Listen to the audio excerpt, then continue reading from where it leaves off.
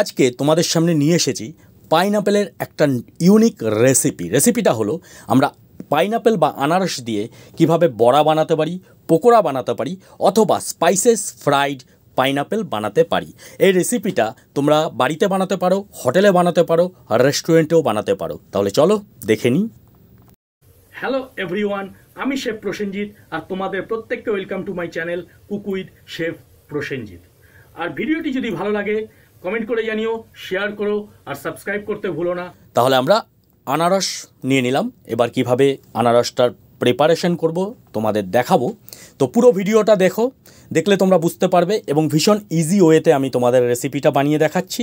তোমরা ট্রাই করো ডেফিনেটলি একটা ভালো ডেলিশিয়াস ডিশেস তোমরা আজকে এই রেসিপিতে পাবে। আমি আনারসকে পিল করে নিলাম। পিল করে নিয়ে আমি আনারসকে কেটে নেব। তোমরা ছোটও কাটতে পারো স্লাইস করে কাটতে পারো, পাতলা স্লাইস হতে পারে বিগ স্লাইস হতে পারে, তোমরা যেভাবে পছন্দ করো, তোমরা সেভাবেই কেটে নিও।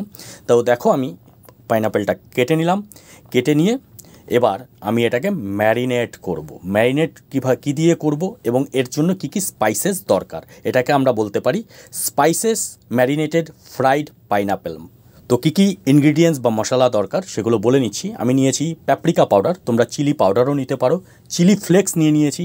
নিয়েছি সিনামন পাউডার বা দারচিনির পাউডার নিয়ে নিয়েছি সল্ট আমি এটাকে দিয়ে, এই ইনগ্রিডিয়েন্টসগুলোকে দিয়ে পাইনাপেলটাকে ম্যারিনেট করব।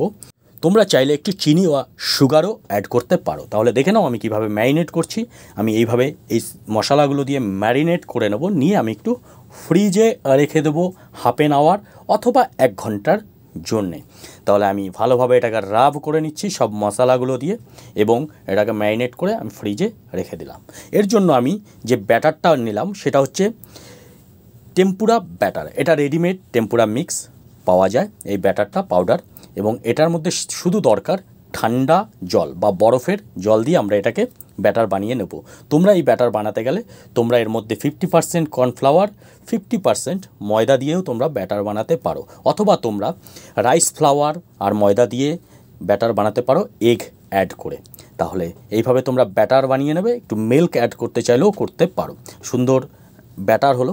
এবং তোমরা যদি বাড়িতে যদি টেম্পুরা ফ্লাওয়ার না কেনো, নিজেরা করতে চাও, আমি যেভাবে বললাম ময়দা কর্নফ্লাওয়ার বা ময়দা রাইস ফ্লাওয়ার দিয়ে তার মধ্যে তোমরা কিন্তু একটু বেকিং পাউডার অ্যাড করে নিও আর একটা ডিম। তাহলে পরিমাপ তোমরা নিজেরা কত বানাবে, কত পোর্শান হবে, তোমরা সেই অনুযায়ী তোমরা ইনগ্রিডিয়েন্টসগুলো নিয়ে নেবে, ডিম কতটা লাগবে বেকিং পাউডার কতটা লাগবে।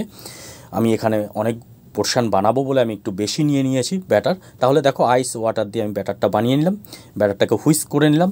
এবার ব্যাটারটা দেখো, এই রকমই টেক্সচার আসবে। খুব পাতলাও হবে না, খুব থিকও হবে না, একটা সুন্দর ব্যাটার আমি তৈরি করে নিলাম। এবার এই ব্যাটারের মধ্যে আমি ম্যারিনেট করা পাইনাপেলগুলোকে ডিপ করব, করে আমি গরম তেলে ফ্রাই করব। তেল খুব গরম হবে না এবং খুব ঠান্ডাও থাকবে না যেরকম পাকোড়া আমরা বাড়িতে বানিয়ে থাকি।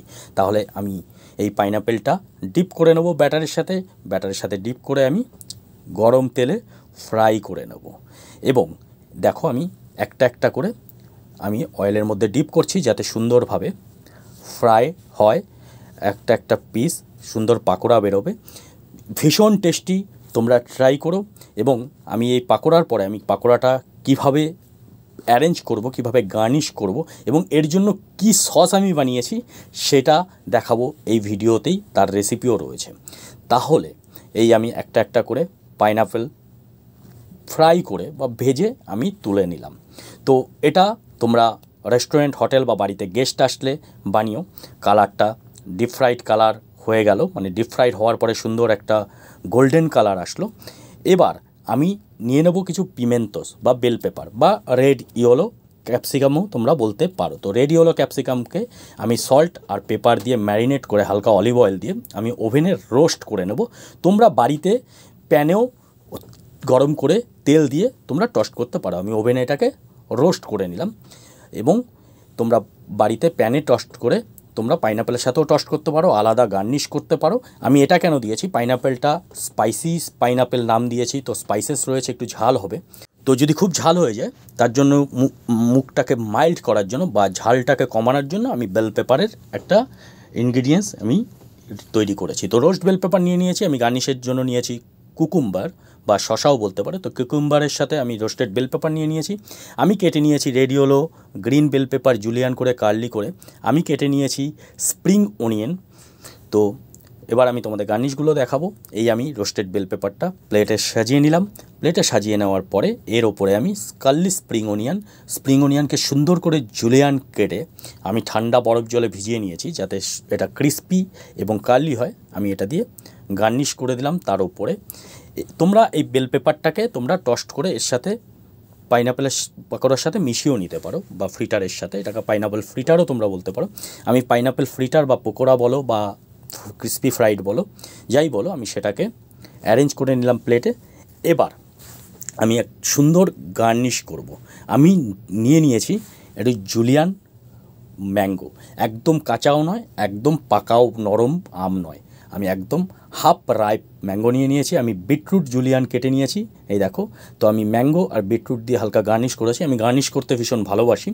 তো প্লেটিং যদি সুন্দর না হয়, প্রথম লুকস বা অ্যাপিয়ারেন্সটাই যদি সুন্দর না হয়, তাহলে আর ভালো লাগে না। কিউকুম্বারের একটা সুন্দর গার্নিশ আমি বানিয়ে নিয়েছি আর রেখে দিলাম মাঝখানে। তো এই হয়ে গেল আমার প্লেটিং এবার এটার জন্য যা- সসটা আমি বানিয়েছি, সেটা আমি তোমাদের রেসিপি দেবো, তোমরা বাড়িতে বানিয়ে নেবে। সসটার মধ্যে আমি দিয়েছি হালকা তেঁতুল জল, কিন্তু খুব ডিপ কালো তেঁতুল জল হবে না, হালকা জলে তেঁতুল গুলে। তার মধ্যে আমি দিয়ে নিয়ে নিয়েছি সুগার সিরাপ আমি নিয়ে নিয়েছি ধনে পাতা বা কোরিয়েন্ডার লিপ আমি নিয়ে নিয়েছি চিলি গ্রিন চিলি অথবা কাঁচা লঙ্কা। দিয়ে আমি ব্লেন্ড করে একটা ডিপ বানিয়ে নিয়েছি ডিপটা উপর দিয়ে দিয়ে দিলাম। তোমরা বাড়িতে ট্রাই করো। তাহলে ফ্রাইড পাইনাপেলের সাথে এই ডিপটা কিন্তু খুব সুন্দর যাবে। আর একটা সুন্দর প্লেটিং আমি করে নিলাম, যেটা দেখেই তোমাদের কিন্তু মুখে জল চলে আসবে। তাহলে রেসিপিটা আজকে এই, আমি উপরে দিয়ে দিলাম রেড ইয়েলো গ্রিন ক্যাপসিকামের একটা কাল্লি দিয়ে সুন্দর একটা গার্নিশ করে নিলাম। আর রইল স্পাইসেস ফ্রাইড পাইনাপেল তোমাদের সামনে। আর ভিডিওটি যদি ভালো লাগে, কমেন্ট করে জানিও, শেয়ার করো, আর সাবস্ক্রাইব করতে ভুলো না। আর নিচের বেল আইকনটিকে টিপে দাও, যাতে আমার বানানো প্রত্যেকটা ভিডিওর নোটিফিকেশন তোমাদের কাছে পৌঁছে যায় সবার আগে এবং সবার প্রথমে। তাহলে আজকে এখানেই আবার দেখা হবে অন্য কোনো একটি ভিডিওতে।